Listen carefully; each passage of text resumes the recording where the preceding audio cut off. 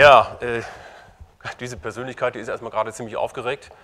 Ähm, ja, ich möchte, ich möchte Sie mitnehmen und ähm, das, äh, in, in, diese Erfahrungswelt, die ich erlebt habe, jetzt in den letzten sechs, sechs Monaten bei Phoenix Kontakt. Ähm, und das Thema heißt ja äh, Cutter in der vollautomatisierten, im vollautomatisierten Montagebereich, gute Coaches als Erfolgsfaktor. Und ähm, tatsächlich hat mich das eine schlaflose Nacht gekostet, und zwar die Nacht, bevor der Herr Aulinger das erste Mal bei uns aufgeschlagen ist. Da habe ich mir wirklich gedacht, das ist ja ganz anders als bei Ihnen. Äh, wir haben ja ganz spezielle Produkte und wir haben ganz spezielle Montagebetriebsmittel. Unsere Prozesse sind speziell, die Kunden, die Kunden sind speziell. Und da habe ich wirklich, das ist jetzt kein Joke, da habe ich wirklich fast eine Nacht nicht geschlafen und gedacht, na, ob Cutter bei mir passen wird, bei uns im Werk, ähm, das wird schon, das wird schon echt, also ich bin gespannt gewesen. Ja. Und ähm, ich kann Sie beruhigen, äh, das hat, glaube ich, keine Woche gedauert. Da war dieses Thema, passt das zu uns, gar keine Frage mehr. Als wir losgegangen sind, haben wir sofort gemerkt, das ist genau das Ding, was zu uns passt. Und solange wie Sie mit Mitarbeitern und Prozessen, die noch nicht optimal laufen, zu tun haben, solange ist Cutter garantiert das Richtige.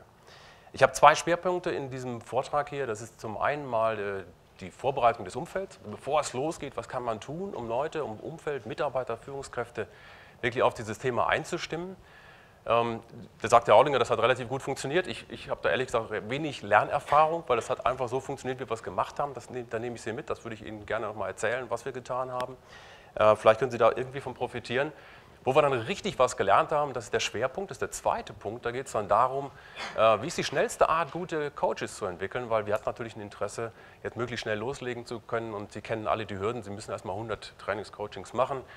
Sie müssen das in Vierergruppen machen und äh, da müssen Sie viel Geduld aufbringen, um da wirklich loslegen zu können. Da waren wir interessiert, das möglichst schnell zu machen. Okay, ganz kurz die Vorstellung äh, der Firma, dass Sie wissen, vor welchem Hintergrund sich da meine Erfahrungen abgespielt haben. Das ist das Headquarter von Phoenix Contact in Blomberg in Nordrhein-Westfalen da oben. Und das ist ein älteres Unternehmen, aber dynamisch geblieben, erfolgreich. Inhaber geführt, ganz wichtig. Und äh, es hat sich für mich dadurch ausgezeichnet, dass es äh, Führungskräften sehr, sehr viel Gestaltungsspielraum gibt. Das ist vielleicht einer der Gründe, warum wir Cutter nicht als Top-Down machen, vom Top-Management runter, sondern wir sind mittendrin angefangen. Ja, und es funktioniert sehr gut. Äh, das ganz kurz, das ist die Historie der letzten zehn Jahre, da möchte ich nicht mit angeben, aber natürlich haben wir uns über ein Wachstum äh, in dieser Form gefreut und auch über das entsprechende Personalwachstum dazu, um das alles realisieren zu können. Aber wenn Sie diese Historie haben, dann haben Sie einfach ein Thema, an dem Sie nicht vorbeikommen und das ist das ganze Thema Prozessstabilität. Ja, Sie haben dann viele Dinge schnell aus dem Boden gestampft, wenn Sie mit mehr als 10 Prozent wachsen pro Jahr. Aber Sie merken dann einfach, irgendwann holt Sie dieses Thema ein, Sie müssen Ihre Prozesse in den Griff kriegen, ansonsten machen Sie irgendwann eine Bauchlandung. Und das ist der Grund, warum wir mit der Kata gestartet sind.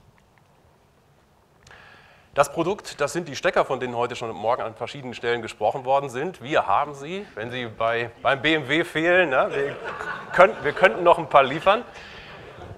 Also das ist aber der, der Produkthintergrund. Ich will das nicht groß erklären. Es geht darum, mit so einem Produkt können Sie die Kabel, die Sie da oben von links sehen, auf, mit einer Leiterplatte verbinden.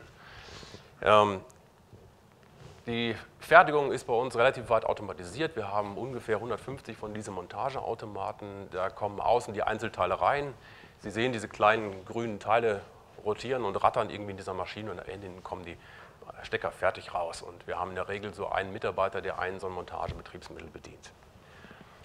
Das bezeichnen wir als relativ hohen Automatisierungsgrad. Ähm, das Besondere ist für uns mit der Cutter, wir haben einen Dreischichtbetrieb, in dem auch die Führungskräfte im Dreischicht wechseln. Wir haben einen wöchentlichen, wöchentlichen Wechselrhythmus in diesem Dreischichtbetrieb. Das stellt natürlich ganz besondere Herausforderungen an das Thema wie kriege ich meine Lerngruppen zusammen. Äh, und das werde ich Ihnen gleich noch ein bisschen zeigen, was wir da gemacht haben, was wir da gelernt haben. Ähm, wir hatten vorausgehend eine ziemlich große und umfangreiche Umstrukturierung, ähm, haben praktisch sämtliche Führungsinhalte und äh, Führungsebenen neu durchsortiert und neu ausgerichtet. Und das war natürlich insofern interessant, dass das im unmittelbaren Vorlauf zur Kata-Einführung lief. So hatten wir praktisch alle Bälle gleichzeitig in der Luft und Komfortzonen gab es überhaupt nicht mehr.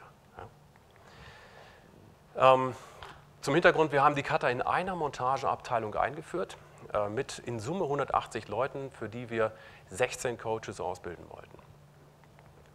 Ziel war, dass alle Führungskräfte möglichst schnell Coach werden sollten. alle Führungskräfte. Bei uns ist das einfach von vornherein selbstverständlich und verknüpft gewesen.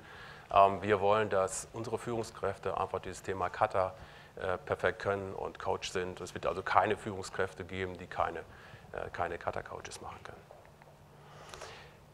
Kommen wir zum ersten Punkt, bevor es losgeht. Äh, wie kann ich das Umfeld Führungskräfte auf so ein Thema Kata vorbereiten? Wir sind so angefangen und das war in der Zeit, als wir noch nicht wussten, dass wir Kata einführen. Ähm, das liegt ungefähr anderthalb Jahre jetzt zurück. Und das war die ganz kritische Bauchnabelschau. Wir haben uns mal gemeinsam geschlossen vor den Spiegel gestellt und ähm, haben einfach mal eine Bestandsanalyse gemacht, haben gefragt, wo stehen wir, ja, was sind unsere Kernthemen und ich denke, viele davon kommen auch Ihnen bekannt vor. Äh, indirekte Kosten sind zu hoch, internationale Wettbewerbsfähigkeiten, naja, da wird schon ganz schön spitz gerechnet, dass man da noch äh, seinen Platz findet. Ähm, sie müssen sich irgendwie mit asiatischen Wettbewerbern äh, auseinandersetzen. Und da gibt es ganz viele Dinge, die Sie im Spiegel erkennen, die nicht mehr angenehm sind. Und der Vorteil, wenn Sie das mit all Ihren Führungskräften machen, sich dafür einen Tag einschließen, wir nennen sowas dann Leitungsforum bei uns, der Vorteil ist, Sie haben alle Mann an Bord. Ja, und Sie haben ein gemeinsames Problemverständnis, bevor überhaupt erstmal irgendetwas mit der Ankündigung von Kata losgeht. Sie haben wirklich alle an Bord und alle wissen, okay, also so dürfen wir jetzt nicht weitermachen, sonst gehen mal irgendwann die Lampen aus. Das ist wirklich ein schmerzhafter Prozess, aber im Nachhinein äh, hat es wirklich, haben wir gemerkt, dass wir unheimlich von profitiert haben, weil einfach diese Frage im Raum stand, wie geht es jetzt weiter? Und alle wollten etwas haben, weil wirklich alle äh, Führungskräfte in diesem gesamten Bereich gemerkt haben, okay, es muss was Neues her. Ja, also da stand die Sau nicht einfach vorm Dorfseingang, sondern die wurde gesucht. Umstrukturierung hatte ich schon eben was zu gesagt, also auf allen Führungsebenen auch Inhalte waren komplett neu und dadurch waren wirklich alle Berliner Luft, wir hatten Komfortzonen, das war auch einer der Begleitaspekte, dass natürlich auch äh, Führungskräfte sagten, ich habe jetzt jede Menge Probleme, wie soll ich die lösen? Da haben wir natürlich gesagt, okay, Kata ist das Problem. Ja? Schon hatten wir Kata-Themen für unsere Übungscoachings, en masse. Ein Punkt, wo Sie jetzt sagen werden, na ist doch klar, dass man das macht, da möchte ich trotzdem darauf eingehen. Den Betriebsrat überzeugen und involvieren ist, glaube ich, einer von den Dingen, die Ihr Leben als Manager leicht machen können. Ähm, Betriebsrat, ich habe extra nicht geschrieben informieren, sondern überzeugen, das haben wir in, in, in drei Runden gemacht. Ähm, das erste war eine Runde mit dem Betriebsrat komplett. Der war noch relativ an der Oberfläche, aber es waren erstmal alle informiert, was soll mit Kata passieren, warum brauchen wir das, warum machen wir das. Und da waren erstmal alle im Boot und, und kannten dieses Thema. Die zweite Runde war dann nur noch mit ähm, Betriebsratsmitgliedern aus unserem Verantwortungsbereich plus den freigestellten Betriebsräten. Und da haben wir mal drei Stunden investiert. Wir haben drei Stunden über dieses Thema Kata, warum eigentlich, wo kommen wir her, wozu brauchen wir das, was ist da für die Mitarbeiter mit drin, ähm, warum wird das funktionieren, äh, muss man davor Angst haben oder nicht. Da haben wir drei Stunden investiert und ich habe das heute noch im Ohr, das endete mit dem Kommentar von einer Betriebsrätin, die sagte, das klingt ja zu schön, um wahr zu sein. Ja, also wenn Sie den Stand dann erreichen, dann wird es einfacher. Ja, und ich habe da nichts gesagt, was, was nicht stimmen würde. Ähm, einen Punkt habe ich vergessen zum Thema Betriebsrat. Äh, dritte Stufe, wir haben einen Betriebsrat, der auch in unserem Bereich mitarbeitet, dazu bewegt und dafür gewonnen, diese Coaching-Ausbildung mitzumachen. Ja, und ähm, das war, glaube ich, echt dann der Schlüssel zum Erfolg. Der, der war natürlich in allen Runden dabei, der ist mit in diesem Koordinationsteam mit drin. Äh, der hat dieses Ding von der Pika auf mitgekriegt, der, der kannte alle Probleme, die wir hatten. Äh, der hat die ganzen, äh, die ganzen Anschläge, die wir irgendwo berührt haben, miterlebt. Ähm, so gut, wie dieser Betriebsrat äh, das dem Gesamtbetriebsrat erklären konnte, was wir da tun, so gut hätte ich das nie hingekriegt. Also das war echt ein, ein, Brückenkopf, auf den ich mich da verlassen konnte. Und ähm, das, das, das hat einfach wirklich super funktioniert. Achso, einen Punkt hatte ich vergessen. Ne? Achso, gut. Ja, das wurde heute Morgen schon mal gesagt. Ich glaube, der Kirchberger hatte das betont. Da habe ich nur gesagt, jo, und genauso habe ich das auch gemacht. Das funktioniert super. Ähm, Sie müssen versuchen, die Leute zu überzeugen und nicht zu überreden. Ähm, das habe ich auch recht intensiv versucht, das zu tun. Und ich habe die Wahl, ob wir mitmachen oder nicht, einzeln abgefragt. Ich habe die Abteilung, meine Abteilungsleiter gefragt, machen Sie mit, ja, bist du dabei? Tragen wir das Ding ins Ziel? Ist das, ist, das, ist das unser Ding ja? Halten wir das durch, sowas täglich zu machen? Ähm, und da gab es unterschiedliches, äh, da gab es durchaus unterschiedliches Echo und dann müssen Sie es eben auch aushalten können, wenn Sie sagen, okay, wir haben an dieser Stelle nicht alle Mann sofort von der ersten Stunde mit an Bord und ähm, wir starten einfach mit einem Teilbereich. Ja, und, und den Leuten, so ist bei uns dann auch passiert, wir sind mit denen gestartet, die gesagt haben, yo, und das Ding, das, das tragen wir gemeinsam, weil sie brauchen diese Unterstützung von dieser ersten Führungsreihe, weil da kommt genügend Wind von vorne. Sie können auch darauf vertrauen, dass das Thema Kata stabil genug ist und die Zeit arbeitet für Sie. Wenn Sie erstmal irgendwo angefangen sind, das Ding bremst keiner mehr. Das ist meine Erfahrung. In diesem Unternehmen hat das, ist das jedenfalls so. Ähm, also Sie kriegen das Ding voran, das, äh, da, da können Sie ruhig erstmal mit halber Besetzung starten. Das ist aus meiner Erfahrung kein Problem. So, jetzt äh, kommen wir zum zweiten Teil. Wie kriegen Sie, wenn wir das Ziel haben, 15, jetzt sind es schon nur noch 15, weil uns einer von Bord gegangen ist, äh, wie kriegen Sie 15 Coaches möglichst schnell ausgebildet? Ähm, wir sind im Juni gestartet und wir hatten natürlich null Coachings auf der Uhr und es ging los. Wir haben uns gefragt, haben wir da irgendwelche Hindernisse oder können wir losfahren? Wir hatten diese drei Tagesschulung und am Tag danach sollte es losgehen. Äh, wir haben gesagt, wir sehen keine Hindernisse, also der nächste Schritt, starten, kann losgehen. Und wir haben folgende, Start, wir haben folgende Startaufstellung gewählt und hier kommt jetzt vielleicht ein Novum. Ähm, wir haben gesagt, das, was wir von Herrn Audinger mit auf den Weg bekommen haben, das müssen wir gleich hier am ersten Tag über den Haufen schmeißen. Und das waren diese festen Vierer-Lerngruppen. Wir haben gesagt, wir haben Dreischichtbetrieb und bei 16 Coachings, äh, bei 16 Coaches im Dreischichtbetrieb können Sie sich die Verteilung vorstellen. Da kriegen Sie selten mal einen Termin mit vier Leuten hin. Und wir haben gesagt, dass sie auf, auf keinen Fall kriegen wir das über die gesamte Lernphase äh, stabil gehalten in festen Teams, ja, sondern wir, wir fangen anders an. Äh, wir machen diese Gruppenzusammensetzung tatsächlich jeden Tag neu. Das können Sie machen, wenn Sie eine Top, eine absolute Top-Sekretärin haben mit einem Nervenkostüm aus blanken Stahlseilen, dann dürfen Sie das probieren. Ja? Ansonsten würde ich Ihnen davon abraten. Ich hatte das große Glück, und wir sind tatsächlich so gestartet, es hat echt gut geklappt. Ähm, die Prozessauswahl ist, glaube ich, typisch. Man sucht sich erstmal weniger erfolgsrelevante äh, Prozesse aus. Und wenn es das Sortieren der Ablage ist, zum Starten am ersten Tag ist es alles gut. Wir haben also den Anschlag hier ziemlich nach links gelegt. Ähm, wir haben die Coaching-Frequenz vom ersten Tag an auf täglich gelegt. Keine Kompromisse, täglich. Die Übungszeit war uns klar, wir müssen relativ viel investieren. Also ein Coaching dauert am Anfang eine halbe Stunde plus ich muss ja als in der Mentee-Rolle oder für die Mentee-Rolle muss ich auch noch selber was tun. Wir waren uns bewusst, wir müssen mit zweieinhalb zusätzlichen Stunden am Tag starten. So, dann kam der August, mitten in der Urlaubszeit und wir hatten ein Hindernis. Nämlich der Servicegrad sank unter 90 Prozent und jetzt hoffe ich, dass der Herr Kirchberger nicht sagt, jo, stimmt, das habe ich gemerkt als Kunde. Ja. Ähm, aber Sie wissen, was in der Produktion los ist, wenn Servicegrad sinkt. Klar, da sind natürlich alle unter Feuer und so war das bei uns auch. Ähm, wir hatten weitere Hindernisse, nämlich dass die Führungskräfte für die Mitarbeiter kaum noch erreichbar waren, weil die hatten natürlich vorher schon die Schreibtische voll durch diese ganze Umstrukturierung.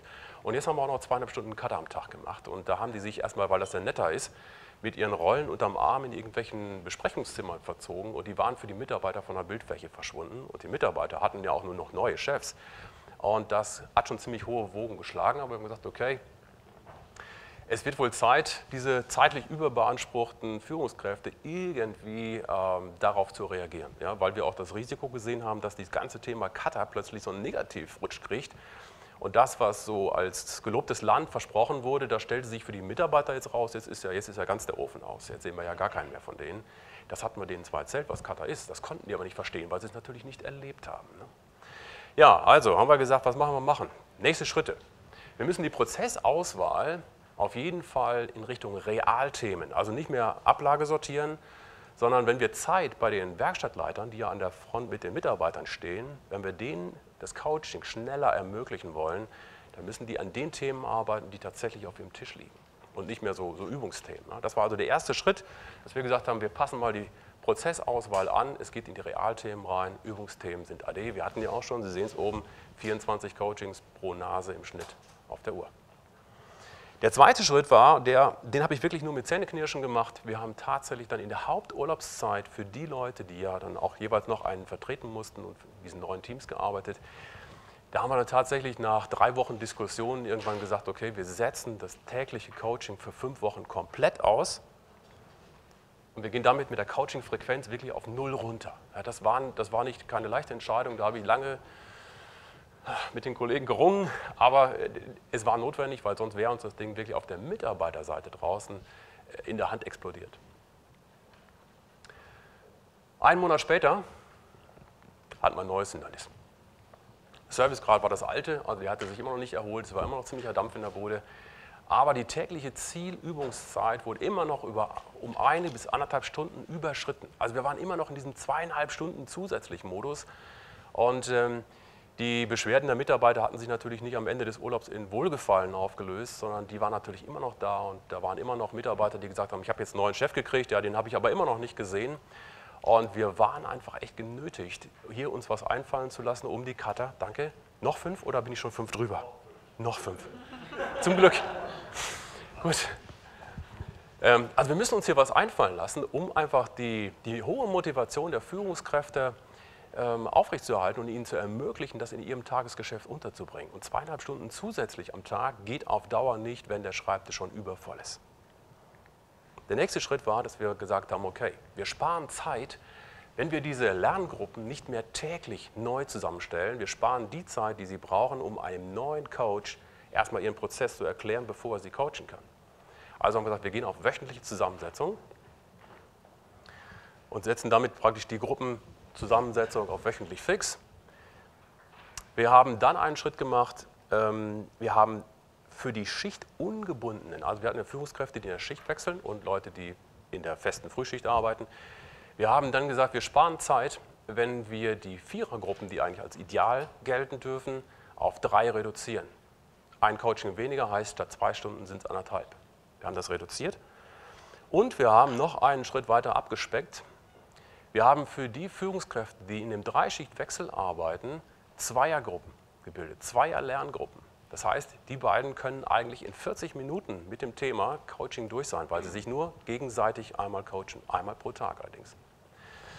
Damit die nicht ganz ohne Feedback nach Hause gehen, haben wir denen einen reinen Coach-Coach an die Seite gestellt, der natürlich an dem Tag keine Punkte sammeln konnte, weil er wirklich nur in dieser Coach-Coach-Funktion unterwegs war. Wir hatten auch ein paar Coach-Coaches, das waren nämlich die, die in dieser Hauptsommerurlaubszeit diese fünf Wochen nicht ausgesetzt haben, weil sie nicht in, diesen, äh, nicht in diesem Schichtrhythmus arbeiten. Da haben wir gesagt, wenn wir die jetzt einsetzen als Couch-Coach, dann können wir die anderen, um die es uns eigentlich geht, nämlich diejenigen, die als Werkstattleiter an der Front arbeiten, dann können wir die relativ schnell wieder aufholen lassen. So war es praktisch möglich, dass wir die Coaching-Frequenz nach diesen fünf Wochen Urlaubszeit wieder auf täglich raufgesetzt haben und wir haben die tägliche Übungszeit das erste Mal in Richtung Zielübungszeit runtergefahren. Und damit hatten wir volle Akzeptanz bei den Werkstattleitern, die alle gesagt haben, Kada ist super, ich weiß nur nicht, wie ich es umsetzen soll. Und bei einer Stunde, da haben sie gesagt, und wenn wir da hinkommen, dann sehen wir die Möglichkeit, dass wir das Ding auch lang durchziehen. Ja. Also das war ein entscheidender Schritt. So, dann hatten wir, jetzt muss ich ein bisschen Dampf machen. Sie können sich vorstellen, dass das Thema Mitarbeiterakzeptanz immer noch eins von den Hindernissen waren. Wir haben gesagt, jetzt gehen wir mit der Prozessauswahl mal komplett weiter rüber in Richtung Erfolgsrelevanz, weil wir müssen jetzt ran an die echten Prozesse. Mit 45 Coachings kann man sich doch rantrauen, das klappt. Und wir haben dann gesagt, okay, damit die Mitarbeiter wirklich verstehen, was wir hier tun und wofür wir die Zeit investieren, die wir den Mitarbeitern im Moment vorenthalten, wir müssen die Außenwirkung, die wir gar nicht auf dem Schirm haben, richtig in Richtung, in Richtung unmittelbar rüberschieben. Das heißt, wir müssen mit den Übungsthemen raus in die Werkstatt und wir üben unter den Augen unserer Mitarbeiter, damit wir dann ein höheres Verständnis haben. So sieht es inzwischen aus, ganz kurz, die kennen Sie alle. Durchschnittlicher Mehrbedarf, wir hatten ja gesagt, in den nächsten 100 Anwesenheitstagen. Ne? Von Anwesenheitstagen, da ist ein bisschen Urlaub, können Sie dazu rechnen und vielleicht nochmal eine Krankheit, ähm, eine Woche und vielleicht noch Weihnachtsurlaub. Und dann hatten wir uns das Ziel gesetzt, wir wollten am 31. Januar durch sein. Jetzt kann man hier sagen, wir werden mit 17 Tagen durchschnittlichem Mehrbedarf tatsächlich dort ankommen. Und diese 17 Tage sind zum Großteil tatsächlich in dieser Unterbrechung dieser Haupturlaubszeit begründet. Und wir werden unseren letzten Coach, Coach nach zusätzlichen 21 Tagen Anwesenheit wirklich ins Ziel bringen. Fazit, tatsächlich Coaches in 100 Anwesenheitstagen auszubilden, selbst im Dreischichtbetrieb, geht. Wenn ich eine Empfehlung mit auf den Weg geben dürfte, würde ich sagen, probieren Sie es nicht unbedingt vier Wochen bevor die Sommerferien anfangen, dann warten Sie lieber, bis die rum sind. Ja, ist deutlich, ist deutlich einfacher, da haben wir echt geschwitzt an der Stelle. Ähm, das Thema Terminkoordination für wechselnde Lerngruppen hatte ich eben angesprochen. Ähm, das darf man und das kann man nicht unterschätzen.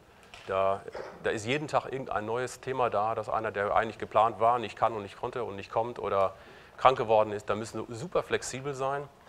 Ähm, die Empfehlung wirklich aus unserer Erfahrung ist, diese wöchentliche Zusammensetzung der Lerngruppen, die funktioniert. Ich denke, die werden wir durchziehen, bis unsere Trainingsphase in diesem Bereich vorbei ist.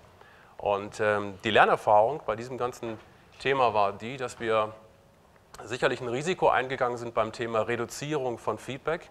Ja, typischerweise haben wir zwei Coach-Coaches in den Lerngruppen. Ähm, wir haben dann aber in den ersten Wochen schon gemerkt, dass dieses Feedback von den zwei Coach-Coaches sich doch relativ, wenn die Gruppe sehr stabil ist, relativ schnell annähert.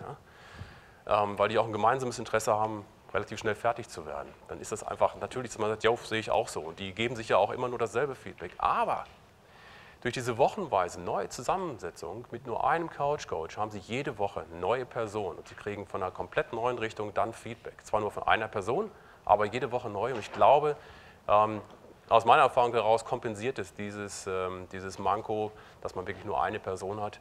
Äh, wir haben da gute Erfahrungen mitgemacht und ich glaube, es ja, funktioniert sehr gut und wir werden wohl unsere 100 Tage im Ziel so erreichen.